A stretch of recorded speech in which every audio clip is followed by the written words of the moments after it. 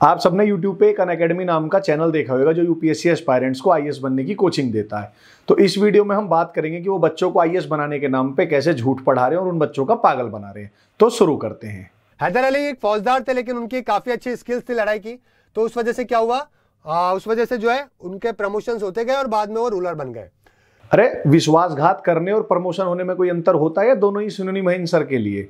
क्योंकि जहाँ तक मुझे पता है, जितना मैंने पढ़ा है हैदर अली ने, वोडियार डायनेस्टी के जो लास्ट राजा थे, कृष्ण राया, उनको धोखे से हटाया और इस धोखे में उन राजा का जो मंत्री था, पुरनैया, उसकी कहानी आगे आएगी। उसने भी हैदर अली का साथ दिया और यही नहीं, हैदर अली ने उनको हटाने के बाद गद्दी से राज परिवार के सभी लोगों को श्रीरंगपट्टनम की जेल में कैद करके भी रखा। बहुत फ़ेमस किताब है wings of fire Abdul Kalam ji की नहीं पढ़ी तो पढ़िएगा। बहुत ज़्यादा इंस्पिरेशनल इंस्पिरेशन है जो कि आपको मिलेगी। तो उसी के अंदर कुछ अब्दुल कलाम जी के द्वारा कुछ चीज़ें लिखी हुई है। और उसके बारे में यहाँ पे बताया गया है। ठीक है? और आपको मालूम है, रॉकेट आर्टिलरी के अंदर सबसे पहले शुरुआत जो है वो इनके द्वारा ही करी गई थी, रॉकेट और इन सब की। जो है, इंडिया की जो साइंस थी, रॉकेट साइंस थी, उससे इंस्पायर होकर जो है यहाँ पे बनाई गई है। और साथ में एपीजे अब्दुल कलाम ने यह भी लिखा था कि हम लोग जो है, हमारे हीरो को भूल चुके हैं जिन्होंने रॉकेट साइंस में इतने पहले काम किया, लेकिन वेस्टर्न कंट्रीज़ जो है, आज भी उसको उस चीज़ से याद करके, खुद को इंस्पायर करके इनोवेशन में लगे हुए हैं। पहली बात अब्दुल कलाम जो थे, वो हिस्टोरियन भी हो गए क्या? और ये जिस किताब का नाम ले रहा उसके पेज नंबर 37 और 40 पे चार बार टीपू का मेंशन है। उस पूरी किताब में भी कहीं एपीजे अब्दुल कलाम ये नहीं कह रहे कि टीपू सुल्तान ने रॉकेट साइंस की डिस्कवरी की थी। और अगर डिस्कवरी की भी थी, मान लिया तो उसको हिंदू महिलाओं का बलात्कार करने का लाइसेंस मिल गया, हिंदुओं की हत्या करने का लाइसेंस मिल गया, हिंदुओं के मंदिर तोड़ने का लाइसेंस मिल गया। और जो ये कह रहा है कि एपीजे अब्दुल कलाम कह रहे हैं कि हम अपने हीरो को भूल गए हैं तो अरे भैया काफिरों की हत्या करने वाला उनके मंदिरों को तोड़ने वाला मुसलमानों का तो हीरो हो सकता है पर हम हिंदुओं का हीरो कब से हो गया? टीपू सुल्तान जो है वो सेल्फ रेस्पेक्ट और पेट्रोलिज्म के लिए जाने जाते थे। उन्होंने एक बात बोली थी जो कि काफ़ी फ़ेमस है कि मैं ब्रिटिशर्स का सर्वेंट कभी नहीं बनूँगा और ना मैं कभी सर, उनको सरेंडर करूँगा। कोई किसी विदेशी पावर का विरोध कर रहा हो तो ज़रूरी तो नहीं कि वो देशभक्ति के कारण ही ऐसा कर रहा हो क्योंकि जो टीपू था वो अपने सेल्फिश गोल्स को अचीव करने के लिए और ब्रिटिशर्स को हराने के लिए एक दूसरी फॉरेन पावर जो फ्रेंच थे, जो भारत में अपना राज स्थापित करना चाह रहे थे, उनसे मदद मांग रहा था। तो टीपू जो खुद फॉरेन पावर से मदद मांग रहा है, वो फॉरेन फोर्सेस का दुश्मन कैसे हो सकता है? जैसे कि आप सबको ना पता हो 2 अप्रैल सत्रह सौ को टीपू ने एक फ्रांसिस रिपन नाम का फ्रेंच अधिकारी था, उससे फ्रेंच नेशन और अपने बीच एक दोस्ती का लेटर ड्राफ्ट करवाया, जिसमें टीपू ने लिखवाया कि जो ब्रिटिश टेरिटोरियल पोजेशन है, वो खत्म हो जाएगा। और आधा देश किले और दुकानें जो है वो टीपू रख लेगा, बाकी आधा फ्रेंच ले लेंगे। बॉम्बे जो है वो फ्रेंच को दे दिया जाएगा, गोवा जो है वो टीपू अपने पास रख लेगा।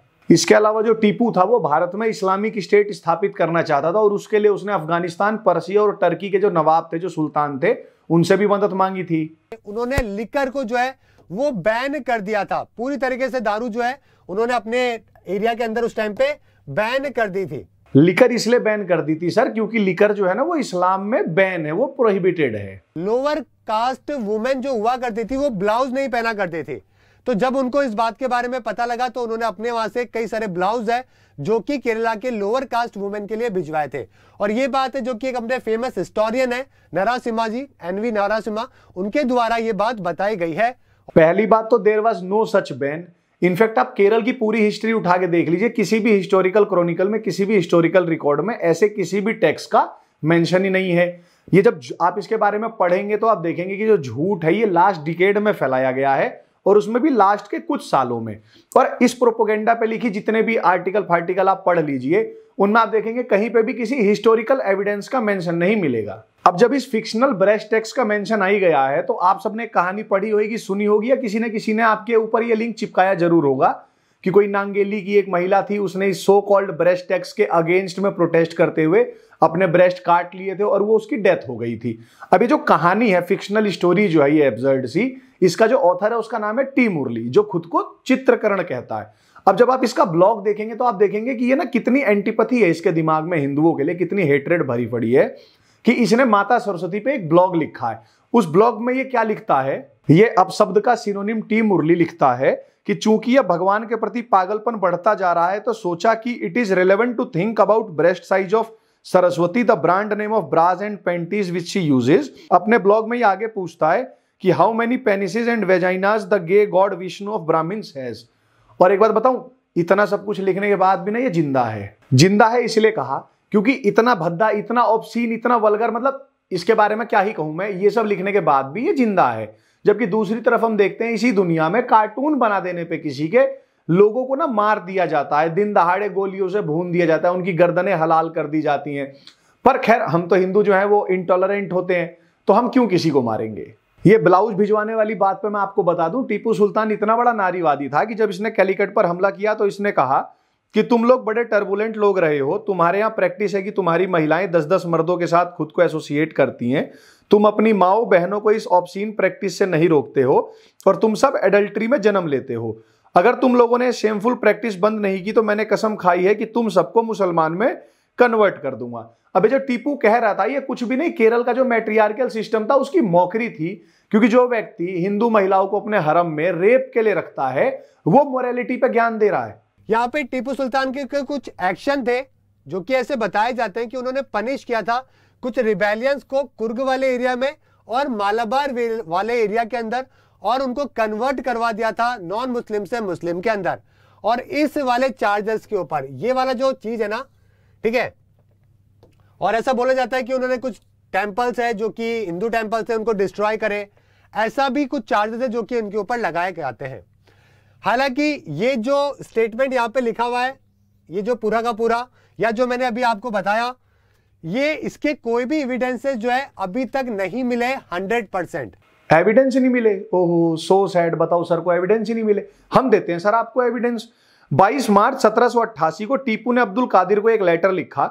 उसमें वो लिखता है कि 12000 हिंदुओं को कन्वर्ट करा है मैंने, जिनमें बहुत सारे नंबूदरी ब्राह्मण थे, और मेरे इस अचीवमेंट का ज़ोर शोर से प्रचार करो और तुम भी अपने यहाँ के लोकल हिंदुओं को लाओ और कन्वर्ट करो, यहाँ तक कि ब्राह्मणों को भी मत छोड़ो। चलो सर लगे हाथ एक और लेटर पढ़ लो। 18 जनवरी 1790 को टीपू ने अब्दुल दुलाई को एक लेटर लिखा। उसमें वो लिखता है कि मोहम्मद और अल्लाह की दया से कैलिकट के सारे हिंदू मैंने कन्वर्ट कर दिए हैं। कोचिन स्टेट के बॉर्डर पर रहने वाले हिंदू कुछ बच गए हैं और मैं डिटरमाइंड हूँ कि उनको भी बहुत जल्दी कन्वर्ट कर दूँगा और ऐसा करने को मैं जिहाद समझता हूँ। अब आप सोच रहे होंगे कि मेरे सोर्सेस क्या हैं? तो सोर्सेस है selected letters of Tipu Sultan by William Kirkpatrick एक बहुत ही फ़ेमस आर्टिकल लिखा गया मार्लिन रानी के द्वारा, जो कि असिस्टेंट प्रोफेसर है हिस्ट्री की। ओके तमिलनाडु के अंदर अभी रहती हैं और काफ़ी ज़बरदस्त इन्होंने हिस्ट्री के अंदर काम किया हुआ है। तो इन्होंने भी रिलीजियस लेगेसी टीपू सुल्तान के बारे में बताया है कि हिंदू डोमेन के अंदर रहने के बाद में भी दोस्तों टीपू सुल्तान को कभी भी जो है, वो ऐसा नहीं हुआ कि उनको इस तरीके से ऑपरेशन झेलना पड़ा। कई सारे 90 परसेंट जो भी उनको दान मिला करता था, वो हिंदुओं को ही दिया करते थे। 90 परसेंट जो दान मिलता था, वो हिंदू मंदिरों को दिया करते थे। इस बात का सोर्स क्या है? जिस प्रोफेसर का ये नाम ले रहा है, जिसका जर्नल ही हमको चिपका रहा है, वो कुल पाँच पन्ने का जर्नल है। उसके अंदर भी इस झूठ को प्रूफ करने के लिए कोई एविडेंस नहीं दिया गया है। और इस पूरे जर्नल में जो भी दो चार कोट किए गए हैं, उनके मैं नाम बता दूँ किनको ये प्रोफेसर कोट कर रही है। पहला है the great historian Irfan Habib, दूसरा है मोहिबुल हसन तीसरा है विलियम डेल रिम्पल अब मुझे नहीं लगता है कि जो प्रोफेसर इन डिस्टोरियंस को, इन झूठों को कोट कर रही है, उसकी लिखी बात पर भी हमें बात करनी चाहिए। जैसा कि आपको बताया टीपू सुल्तान जो है, मैंने आपको बताया कि स्पेशल हिंदू वाले एरिया के अंदर रहा करते थे डाइटीज बहुत सारी हुआ करती थी, और वहाँ पे जो है स्पेशली कई सारे प्रूफ भी ऐसे मिले कि हिंदू सब्जेक्ट हिंदी रिलीजन के अंदर उनको काफ़ी इंटरेस्ट था और काफ़ी बेहतर काम उन्होंने किए ब्राह्मण जो थे, वो अवध्य माने जाते थे। इसीलिए ब्राह्मणों को एक राज्य से दूसरे राज्य में दूत बनाकर भी भेजा जाता था।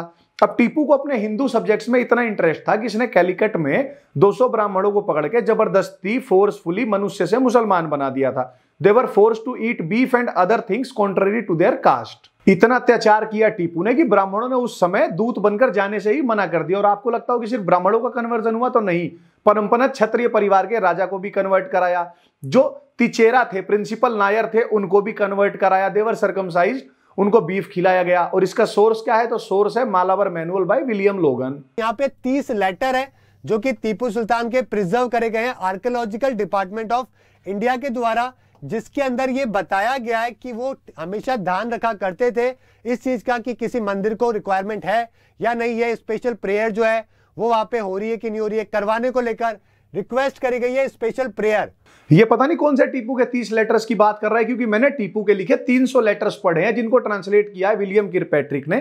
किताब का नाम है सेलेक्टेड लेटर्स ऑफ़ टीपू उन लेटर्स को पढ़ने के बाद तो ऐसा लगता है कि जो हमारे दादा दादी हमको बचपन में कहानियाँ सुनाते थे, जो जिसमें राक्षस होते थे तो ये टीपू जो था, ये उन राक्षसों का ना प्रो अल्ट्रा प्रो कुछ मैक्स वर्जन था ना, वो रहा होएगा। जब टीपू मरा तो इसके पूरे एरिया में सिर्फ़ दो ऐसे हिंदू मंदिर बचे थे, जिनमें पूजा होती थी, बाकी के सारी मंदिरों में पूजा बंद हो चुकी थी, तोड़ दिए गए थे। लेविस राइस करके एक हिस्टोरियन है, उन्होंने किताब लिखी है हिस्ट्री ऑफ़ मैसूर उसमें वो बताते हैं कि बाय 1790 1790 तक wealth of every Hindu temple was confiscated यानी टीपू ने 1790 आते आते जितने भी हिंदू मंदिर थे, सबकी संपत्ति कन्फेस्टिकेट कर ली थी, जब्त कर ली थी। तो और यहाँ पे महात्मा गांधी जी ने भी यंग इंडिया के अंदर लिखा था कि टीपू वॉज़ एन ठीक है embodiment of Hindu Muslim unity तो महात्मा गांधी जी के द्वारा भी यंग इंडिया के अंदर इसके बारे में लिखा हुआ है। अब देखो, ये कितना बड़ा हिस्टोरियन उठा के लाया एपीजे अब्दुल कलाम हिस्टोरियन के बाद, महात्मा गांधी। महात्मा गांधी कब से हिस्टोरियन हो गए भाई अब? क्यों? महात्मा गांधी ने जो लिखा भी टीपू के बारे में, टीपू उसका ठीक उल्टा था, यानी महात्मा गांधी ने टीपू को नॉर्थ पोल लिखा तो टीपू साउथ पोल था। ये हमें कैसे पता लगा? तो उसके एक्शन से। अब हम टीपू को उसके एक्शंस के बेसिस पर जज करें। उसने जो लेटर्स लिखे थे, उनके बेसिस पर जज करें, या मोहनदास गांधी ने जो लिख दिया, उसके बेसिस पर जज करें। ठीक है तो उम्मीद करता हूँ कि ये कंट्रोवर्सी आपको समझ में आ गई होगी कि वो एंटी हिंदू थे या फिर प्रो हिंदू थे। वो सारी जानकारी मैंने आपको इस वीडियो में दे दी है, ठीक है? तो उम्मीद करता हूँ कि आप अपने इस वीडियो को शेयर करेंगे लाइक करेंगे और ताकि सभी बच्चे देश के अंदर जो है वो प्रॉपर चीज़ों को समझ सके, जान सके। हमें तो छोड़िए सर, आपको भी समझ में नहीं आई कि टीपू कौन था और आपको समझ में तो तब आती जब आप कुछ किताबें पढ़ते। पर आपने तो डेक्कन हेराल्ड का आर्टिकल पढ़ लिया और एक पाँच पन्नों का जर्नल पढ़ लिया और आप बन गए इंटेलेक्चुअल पर ऊपर से देखिए, चोरी और सीना जोरी का क्या एग्ज़ाम्पल है? कि इतना झूठ पढ़ाने के बाद ब्लेटेंटली झूठ बोलने के बाद ये व्यक्ति बच्चों से कह रहा है कि आप चैनल को मैं उम्मीद करता हूँ लाइक करेंगे शेयर करेंगे सब्सक्राइब करेंगे।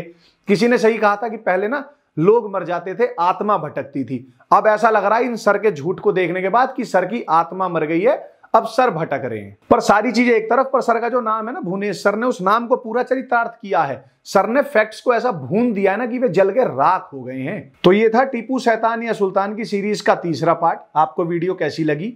हमें कमेंट में बताइए। अपने दोस्तों को दिखाइए, अपने परिवार वालों को दिखाइए। सच को फैलाने में हमारा सहयोग कीजिए।